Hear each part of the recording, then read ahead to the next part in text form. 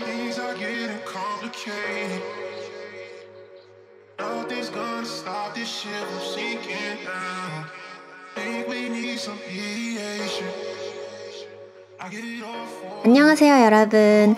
이번에 프리브와 함께 두 번째 촬영을 진행하게 되었어요. 오늘은 촬영 현장 브이로그 겸 프리브 신상 lookbook으로 영상을 제작해 봤습니다.